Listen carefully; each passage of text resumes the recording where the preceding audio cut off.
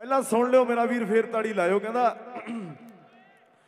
ਕਹਿੰਦਾ, ਜਿਹਨੂੰ ਸੱਟਾਂ ਖਾ ਕੇ ਨਜ਼ਾਰਾ ਆਉਂਦਾ ਹੋਵੇ ਨਾ, ਜਿਹਨੂੰ ਸੱਟਾਂ ਖਾ ਕੇ ਨਜ਼ਾਰਾ ਆਉਂਦਾ ਹੋਵੇ ਨਾ, ਉਹਨੂੰ ਦਵਾਈ ਨਹੀਂ ਚੰਗੀ ਲੱਗਦੀ।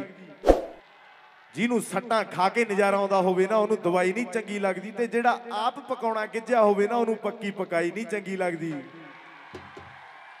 ਜਿਹਨੂੰ ਸੱਟਾਂ ਖਾ ਕੇ ਨਜ਼ਾਰਾ ਆਉਂਦਾ ਹੋਵੇ ਨਾ, ਉਹਨੂੰ ਦਵਾਈ ਨਹੀਂ ਚੰਗੀ ਲੱਗਦੀ।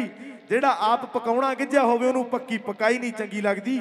ਜਿਹਦਾ ਆਪ ਦਾ ਘਰ ਕੱਚ ਦਾ ਹੋਵੇ, ਉਹ ਕਿਸੇ ਬੈਰੀ ਦੇ ਪੱਥਰ ਮਾਰਨ ਲਈ ਵਾਹ ਨਹੀਂ ਲਾਊਗਾ। ਤੇ ਸ਼ੇਰ ਜਿੰਨਾ ਮਰਜ਼ੀ ਭੁੱਖਾ ਹੋਵੇ ਬਾਈ ਜੀ, ਕਦੇ ਘਾਹ ਨਹੀਂ ਖਾਊਗਾ, ਕਦੇ ਘਾਹ ਨਹੀਂ ਖਾਊਗਾ। ਕਹਿੰਦਾ, ਠੇਡਾ ਖਾ ਕੇ ਹੀ ਪਤਾ ਲੱਗਦਾ। ਉਹ ਠੇਡਾ ਖਾ ਕੇ ਹੀ ਪਤਾ ਲੱਗਦਾ ਵੀ ਇਹ ਕਿਸੇ ਗੈਰ ਦਾ ਕਿ ਕਿਸੇ ਆਪਣੇ ਦੇ ਦਰ ਵਾਲਾ। ਠੇਡਾ ਖਾ ਕੇ ਹੀ ਪਤਾ ਲੱਗਦਾ ਵੀ ਇਹ ਕਿਸੇ ਗੈਰ ਦਾ ਕਿ ਕਿਸੇ ਆਪਣੇ ਦੇ ਦਰ ਵਾਲਾ, ਉਹ ਸ਼ੇਰ ਦੀ ਤਾਂ ਚਾਲ ਦੱਸ ਦਿੰਦੀ ਆ ਵੀ ਇਹ ਜੰਗਲੀ ਆ ਕੇ ਚਿੜੀਆ ਘਰ ਵਾਲਾ।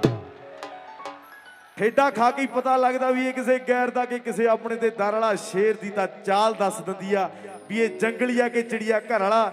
ਜੇ ਅੱਜ ਦੇ ਟਾਈਮ 'ਚ ਕਿਸੇ ਬੰਦੇ ਨੂੰ ਕਿਸੇ ਰਾਹ ਜਾਣ ਤੋਂ ਰੋਕੋਗੇ, ਤਾਂ ਉਧਰ ਜਾਊਗਾ ਹੀ ਜਾਊਗਾ।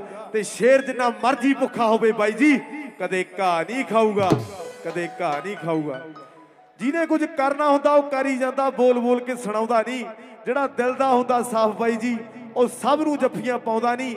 ਚੇਲਾ ਜਿੰਨਾ ਮਰਜ਼ੀ ਸਿੱਖ ਜਾਵੇ, ਪਰ ਕਦੇ ਆਪਣੇ ਉਸਤਾਦ ਤੇ ਦਾਹ ਨਹੀਂ ਲਾਊਗਾ।